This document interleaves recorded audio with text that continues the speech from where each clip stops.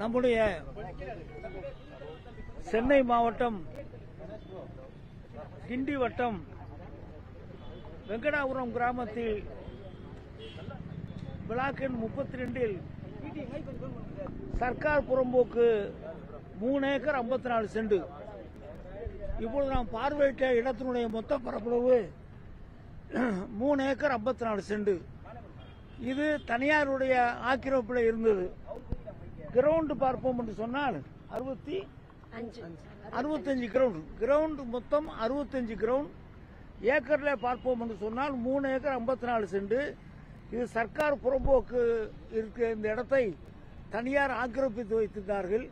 அதை இன்றைக்கு அரசாங்கம் வருவாய்த்துறை கையகப்படுத்தி இருக்கிறது இதன் மதிப்பு சுமார் ஐநூறு கோடி இருக்கும்.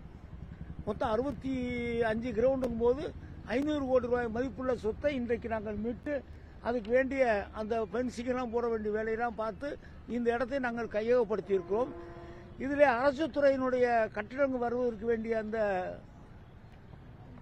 வேலைகளை மாண்பு முதலமைச்சர் அவர்கள் கலந்து கொண்டு முதலமைச்சருடைய ஆலோசனைப்படி இந்த பகுதி சென்னையில் மிக முக்கியமான பகுதி. இந்த பகுதியில் கட்டடங்கள் வருவதற்கு வேண்டிய வேலைகளையும் முதலமைச்சர் ஆலோசனை கிழங்க செய்யப்படும்.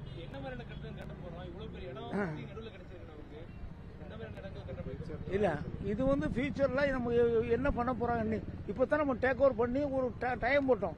இப்போ நம்ம போர்டு வச்சோம். அதுக்கு யார் இப்ப மறுபடியும் ஆட்சேபம் வர்றாங்கன்னா என்னன்னு பார்த்து எல்லாம் முடிச்சுட்டு இப்போ வந்து ஃபுல்லாக நம்ம டேக் ஓவர் பண்ணிடுறோம்.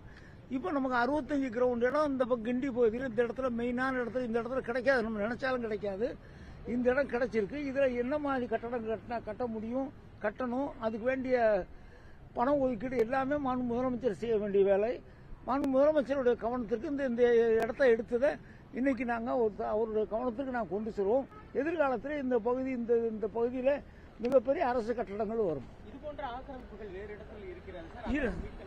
மீட்க கொஞ்சம் கொஞ்சமாக நடவடிக்கை எடுக்கிறோம். என்ன காரணம்னா கோர்ட்டுக்கு போய் உடனே சேவ் ஆகிறாங்க அதெல்லாம் இல்லாத அளவுக்கு நம்ம அதை கரெக்டாக கொண்டு வர வேண்டியிருக்கிற காரணத்தால் அதை பண்ணிட்டு இருக்கோம். இருக்கிற அரசாங்கத்துக்கு சொந்தமான புறம்போக்கு அத்தனையும் பிறர் ஆக்கிரமிப்பில் இருந்தால் அதையெல்லாம் எடுப்பதற்கு வேண்டிய வேலைகளை நாங்கள் துரிதமாக செய்து கொண்டிருக்கிறோம். கடந்த ஆண்டு நிதியாண்டுல நம்ம பத்து கோடி ரூபாய் நிதியானது இதுக்கு ஒதுக்கியிருந்தோம் வானிலை முன்னறிவிப்புக்காக தமிழ்நாடு பிரத்யேகமா ஒரு அமைப்பு உருவாங்க ஒதுக்கியிருந்தோம் ஆனா இந்த ஆண்டு ஒரு ரூபாய் கூட இதுதான் நம்ம ஒதுக்கல. செலவழிப்போம் அதை முதல்ல செலவழிச்சிருவோம். இது முடிப்போம் இன்னைக்கு. பண்ணிட்டோமா? இல்ல இல்ல.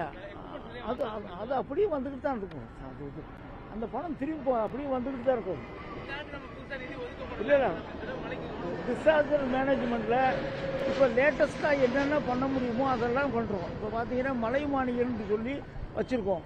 அந்த மலைமானி இப்போ ஒரு ஆயிரம் மலைமானிகள் நாங்கள் ஆர்டர் போட்டு இருபத்தஞ்சி கோடி ரூபாய்க்கு வாங்குறோம். இந்த மலைமானி பார்த்தீங்கன்னா பெருக்க மலைமானி பார்த்தீங்கன்னா மழை வெயில் அளவெடுக்கிறதுக்கு தனியார் நம்ம தனியாக ஆள் போய் பார்த்து தான் அதை எடுக்கணும். இப்போ நாங்கள் எடுத்திருக்கிறது இந்த ஆயிரம் இடத்தையும் மழை பெஞ்ச உடனே எங்களுக்கு மொத்தமாக சென்டருக்கு எங்களுக்கு வரக்கூடிய அளவிற்கு இன்னைக்கு கம்ப்யூட்டரைஸ்லாம் பண்ணியிருக்கோம் லேட்டஸ்ட்டாக மழை பெஞ்சா புயல் அடிச்சா அதெல்லாம் உடனே எங்களுக்கு தெரியக்கூடிய அளவிற்கு முன்னறிவிப்பு நடவடிக்கைகள் அரசாங்கம் எடுத்துக்கொண்டிருக்கு. துறை சார்ந்து ஒதுக்கப்பட்ட நிதியா தான் இருக்கு. பட்ஜெட்ல ஒதுக்கப்பட்ட நிதி கடந்த ஆண்டு பத்து கோடி ரூபாய் ஒதுக்கப்பட்டது ஆனா இந்த ஆண்டு பட்ஜெட்ல ஒதுக்கல. நீங்க துறை சார்ந்து ஒதுக்கி துறையும் துறையும் அரசாங்கம் ரெண்டும் ஒன்று தானே ரைட்டு